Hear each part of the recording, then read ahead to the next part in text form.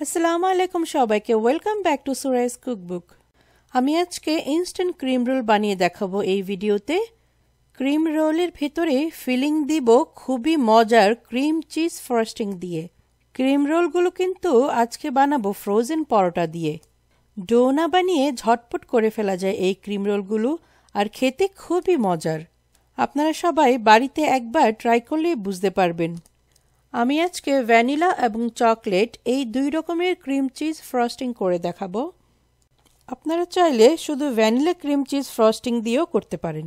ফ্রস্টিংটা করার জন্য যা যা লাগবে তা হচ্ছে এক কাপ বাটার, এক কাপ ক্রিম চিজ, এক কাপ চিনি গুঁড়া বা আইসিং সুগার। আমি এক কাপ গুঁড়া দুধ নিয়েছি কিন্তু সেটা অপশনাল ফিলাডেলফিয়া ব্র্যান্ডের ক্রিম চিজটি হলে ফ্রস্টিংটা বেশি ভালো হয়, আর বাটারটা যেন আনসল্টেড হয়, একটু খেয়াল রাখতে হবে। বাটার এবং ক্রিম চিজ ফ্রিজ থেকে বের করে কিছুক্ষণ রেখে দিতে হবে রুম টেম্পারেচারে, যেন একটু নরম হয়। আর যদি সময় না থাকে, তাহলে আমার মতো ফাঁকিবাজিটি করে ফেলবেন। দশ সেকেন্ড একটু মাইক্রোওয়েভ করে নিলেই ক্রিম চিজ এবং বাটার দুটি রুম টেম্পারেচার চলে আসবে। প্রথমে একটি বোলে বাটার এবং ক্রিম চিজ বিট করা শুরু করতে হবে।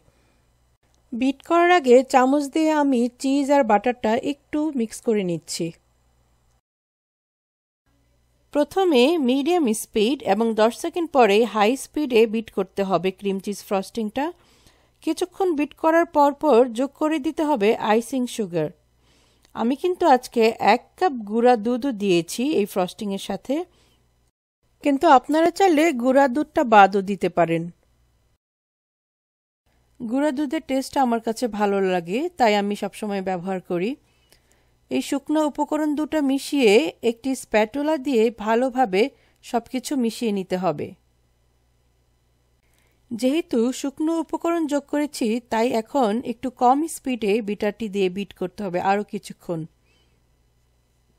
আপনারা কিন্তু সুগার নিজেদের পছন্দ অনুযায়ী কম বেশি করতে পারেন। ক্রিম চিজ ফ্রস্টিং খুব বেশি মিষ্টি খেতে ভালো লাগে না, তাই আমি এক কাপ পরিমাণেই দেই, কিন্তু আপনারা চাইলে এর চেয়ে বেশিও দিতে পারেন। ভালোভাবে কিছুক্ষণ বিট করার পরেই হয়ে গেল আমার অসম্ভব মজার ঘরে তৈরি করা cream cheese frosting.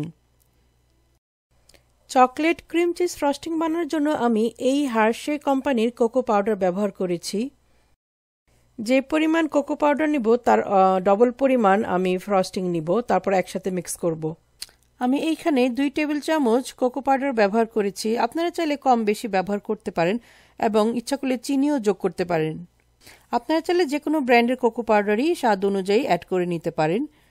আর তারপরেই তৈরি হয়ে যাবে মজাদার চকলেট ক্রিম ফ্রস্টিং আমার তৈরি করা এই ভ্যানিলা এবং চকলেট দুই ধরনের ক্রিম চিজ ফ্রস্টিং আমি এখন রেফ্রিজারেটরের ভিতরে রেখে দিব। এই ফাঁকে চলুন ঝটপট ক্রিম রোলের রোলগুলা তৈরি করে নিই। রোলগুলো তৈরি করার জন্য আমি আজকে এই ডাইসগুলি ব্যবহার করছি। দেশে যেসব দোকানে কিচেন অ্যাক্সেসরিজ পাওয়া যায় বা বেকিংয়ের জিনিসপত্র পাওয়া যায়, সব দোকানে এই ডাইসগুলি অ্যাভেলেবেল আর যারা দেশের বাইরে থাকেন, তারা ক্রিম হর্ন মোল্ড এই নাম দিয়ে সার্চ দিলে গুগলে পেয়ে যাবেন যে আশেপাশে কোন কোন স্টোরে এই ডাইসগুলি পাওয়া যায় বা কোন কোন ওয়েব পেজে বিক্রি করে এই ডাইসগুলি আর যারা ইউএসএতে থাকেন, তারা অ্যামাজনেই পেয়ে যাবেন এই ডাইসগুলি আপনারা শুধু ক্রিম হর্ন মোল্ড এই নামটি দিয়ে সার্চ দিবেন। আপনারা দেখতে পাচ্ছেন যে আমি এখানে দুই ধরনের ক্রিম রোলের ডাইস নিয়েছি। একটি হচ্ছে একটু চিকন করে লম্বা, আরেক ধরনের যেটা নিয়েছি একটু খাটো করে মোটা ভেতরটা। দেশের বাইরে যে ডাইসগুলি পাওয়া যায়, সেগুলির ভেতরটা একটু বেশি মোটা হয়ে থাকে। কিন্তু শেপ ছোট, বড়, চিকন, মোটা কোনো ব্যাপার না, ক্রিম রোল সবগুলি খেতেই খুবই মজা। চলুন আমরা এবার ফ্রোজেন পরোটা দিয়ে ক্রিম রোলের শেপগুলি ঝটপট বানিয়ে ফেলি। ফ্রোজেন পরোটা আমি আন্দাজে নিয়েছি, যে কটা শেপ দিতে লাগে, ঠিক সেই কয়টাই নিয়েছি। ডিপ ফ্রিজ থেকে পরোটাগুলো বের করে কিছুক্ষণ বাইরে রেখে দিতে হবে, কিন্তু পরোটাগুলো কিন্তু একদম নরম করা যাবে না। তারপর একটি ছুরি বা পিজা কাটার দিয়ে এই সাইজে পরোটাগুলো লম্বা লম্বা করে কেটে নিতে হবে। আপনারা চাইলে স্লাইসগুলো একটু মোটা করে করতে পারেন। আমি পরের পরোটাটা আর একটু মোটা করে কেটে দেখাবো। দেখুন, এই পরোটাটা কিন্তু আমি আর একটু মোটা মোটা করে কেটে নিচ্ছি। আপনারা চাইলে চিকন বা মোটা যে কোনো শেপেই পরোটার স্লাইসগুলো রোলের ডাইসের উপরে বসাতে পারেন।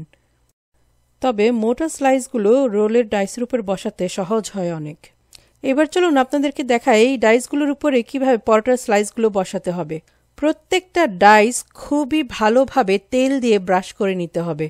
যেন পরোটার স্লাইসগুলি বেক করার পরে আটকে না যায় ডাইসের সাথে। ডাইসগুলোতে ভালোভাবে তেল ব্রাশ করে আমি এবার পরোটা দিয়ে ওপরে শেপ করা শুরু করব।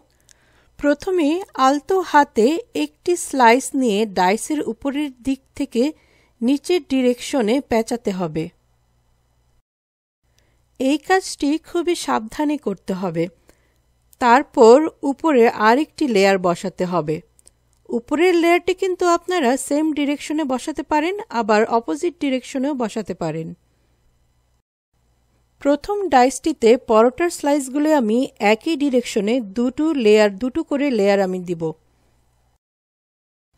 পরের ডাইসটিতে আমি দেখাবো কীভাবে পরোটার স্লাইসগুলোর দ্বিতীয় লেয়ারটা অপোজিট ডিরেকশনে দিতে হয়।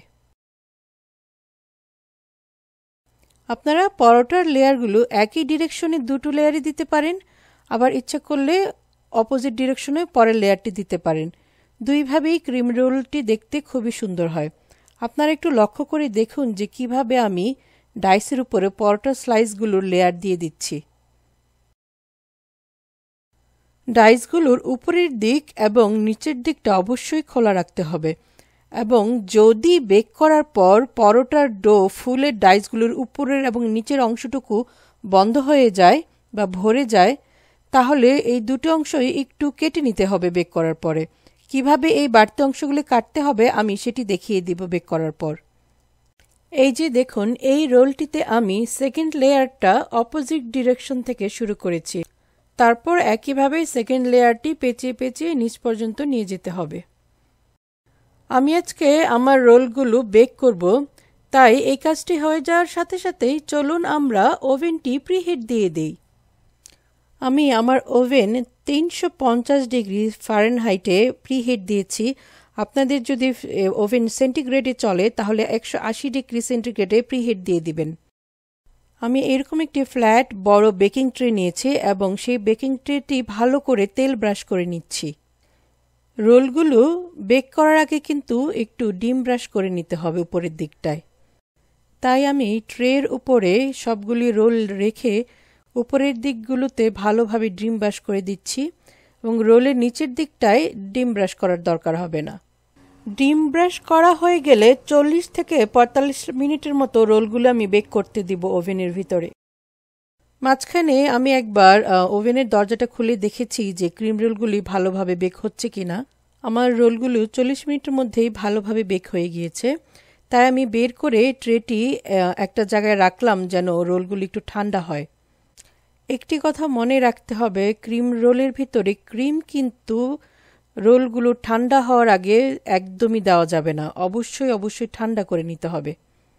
আর ঠান্ডা হয়ে যাওয়ার পর রোলগুলো ডাইস থেকে খুলতে হবে খুবই সাবধানে। প্রথমে প্রত্যেকটা রোল চেক করে নিতে হবে উপরের অংশ এবং নিচের অংশ পুরাটা খোলা আছে কিনা। যদি কোনো অংশ এরকম লেগে যায় বা লেগে থাকে, তাহলে একটু কেটে নিতে হবে। আমি ছুরি দিয়ে একটু উপরের অংশ এবং নিচের অংশ কেটে দেখাচ্ছি। রোলগুলোর উপরের দিকটা এবং নিচের দিকটা এইভাবে একটু কেটে নিলে ডাইস থেকে বের করতে একদমই কোনো সমস্যা হয় না। খুব সহজেই প্রেশার ছাড়াই বের হয়ে আসে। অনেকেই কমপ্লেন করে থাকেন যে, ক্রিম রোলগুলো বেক হওয়ার পরে ডাইস থেকে বের করার সময় হয়তো রোলগুলি ভেঙে যাচ্ছে। তো আমি একটু আপনাদেরকে দেখিয়ে দিচ্ছি ট্রিক্সটা যে, কীভাবে সাবধানে বের করতে হবে। প্রথমে তো অবশ্যই ডাইসগুলিতে অনেক বেশি করে তেল মাখাতে হবে এবং বেক করার পর উপরের আর নিচের অংশটা একটু বাড়তি যদি হয়ে থাকে তাহলে কেটে নিতে হবে। তারপর এইভাবে লম্বা করে ধরে দুই হাতে খুবই সামান্য একটু প্রেশার দিয়ে রোলগুলো ডাইস থেকে বের করে নিতে হবে। আপনারা একটু ভিডিওটা দেখেন, তাহলেই বুঝতে পারবেন।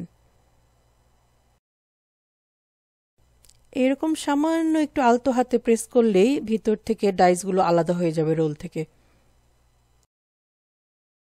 সবগুলো রোল বের করা আমার শেষ হয়ে গেছে। এইবার চলুন রোলগুলোর ভিতরে ক্রিম ঢোকানোর ব্যবস্থা করি। রোলের ভিতরে ক্রিম ঢোকানোর জন্য আমি এই শেপের নজেল ইউজ করেছি, ফ্রস্টিং কিটে জোড়া লাগিয়ে। আপনারা চাইলে এই নজেলটি জিপলক ব্যাগের মাথায়ও জোড়া লাগিয়ে ব্যবহার করতে পারেন।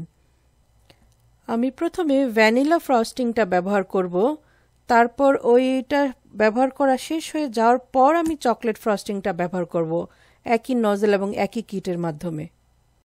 রোলের ভিতরে ক্রিম ঢুকানোর পরপরই কিন্তু ক্রিম রোলগুলো সার্ভ করার জন্য রেডি হয়ে যাবে। কাজটি খুবই সহজ, কিন্তু একটু ধৈর্য নিয়ে করতে হয়। আপনারা ভিডিওতে একটু লক্ষ্য করে দেখুন যে আমি কীভাবে ভ্যানিলা ক্রিম চিজ ফ্রস্টিংটা ক্রিম রোলের ভিতরে ঢুকাচ্ছি এখন। একটু দেখুন যে ক্রিম রোলগুলোর ভিতরে ক্রিম ঢোকানোর পর দেখতে কত সুন্দর হয়েছে এবং খেতেও যে কত মজা হয়েছে, সেটা আপনারা না ট্রাই করলে বুঝবেন না। নজিল দিয়ে ক্রিম রোলের উপরের দিক দিয়ে আমি ক্রিম ঢোকানোর পর কিন্তু আবার নিচের দিক দিয়েও ঢোকাচ্ছি। আমি দুই দিক দিয়েই ক্রিম ঢোকাই, কারণ ক্রিম রোলের উপর দিক দিয়ে ক্রিম ঢোকালে অনেক সময় নিচ পর্যন্ত পৌঁছায় না। তাই দুই দিক দিয়েই ঢোকালে পুরাটা রোলের ভিতরেই ক্রিমে ফিল হয়ে থাকবে। ভ্যানিলা ক্রিম চিজ ফ্রস্টিং রোলের ভিতরে ঢোকানো শেষ হয়ে গেলে আমি এবার চকলেট ক্রিম চিজ ফ্রস্টিং ঢোকাবো। আবারও একই পদ্ধতিতে আপনারা একটু দেখে নিন আবার। আপনারা তো দেখেই নিলেন আমি কীভাবে প্রথমে ক্রিম চিজ ভ্যানিলা ফ্রস্টিংটা ঢোকালাম ক্রিম রোলের ভিতরে এবং তারপর চকলেট ফ্রস্টিংটাও ঢোকালাম। তো এই তো, তারপরে কিন্তু আমাদের আর কিছু করার বাকি নেই। রেডি হয়ে গেল ক্রিম রোল সার্ভ করার জন্য। ফ্রোজেন পরোটা দিয়ে বানানো ক্রিম রোলটি কিন্তু খেতে খুবই মজার, অসাধারণ স্বাদের। আর যেহেতু ডো বানাতে হয় না, তাই বানাতে কিন্তু খুবই কম সময় লাগে। আপনারা অবশ্যই বাড়িতে এই রোলের রেসিপিটি ট্রাই করবেন। এবং যদি ভালো লেগে থাকে, তাহলে কিন্তু আমার চ্যানেলটি সাবস্ক্রাইব করতে ভুলবেন না। বেশি করে লাইক এবং শেয়ার দিয়ে আমার পাশেই থাকবেন আশা করি। আপনাদের ইন্সপায়ারেশনই কিন্তু আমার চ্যানেলটিকে এগিয়ে নিয়ে যেতে সাহায্য করবে। আপনাদের কেমন লাগল অবশ্যই ভিডিও নিচে কমেন্ট বক্সে জানাবেন। আপনারা সবাই ভালো থাকুন। তাহলে আজকে আমি আসি। আজকে এতটুকুই ছিল আপনাদের জন্য। আসসালামু আলাইকুম।